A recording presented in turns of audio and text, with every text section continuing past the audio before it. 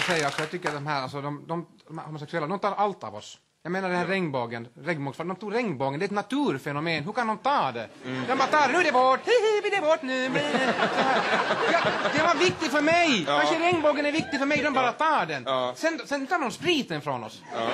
Nu tar de spriten för oss, bara ordet gay. Ja. Det tidigare betydde det glad. Ja. Men nu betyder det inte glad mera. Och så, och så går de omkring och undrar varför vi är sura hela tiden.